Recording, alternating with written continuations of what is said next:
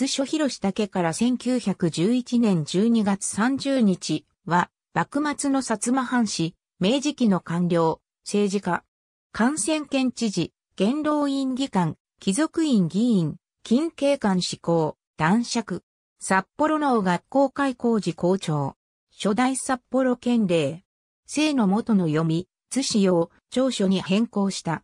ペチカ、馬ぞりなどを北海道に導入した。薩摩藩士、津所広里の三男として生まれる。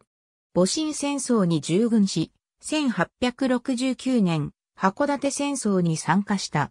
明治5年3月5日、開拓市に入り七島出資となる。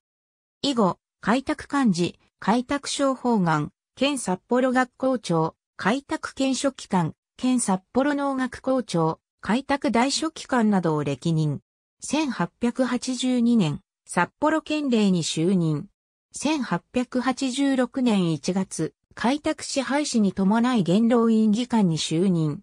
1889年6月、高知県知事となる。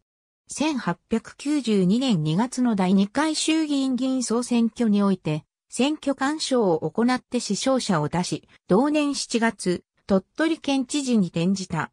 1893年10月の大水害の復旧に尽力。1894年9月に同県知事を退任。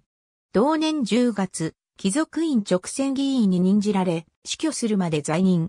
1899年12月5日、近警官、施行。1900年5月9日には、男爵を除爵した。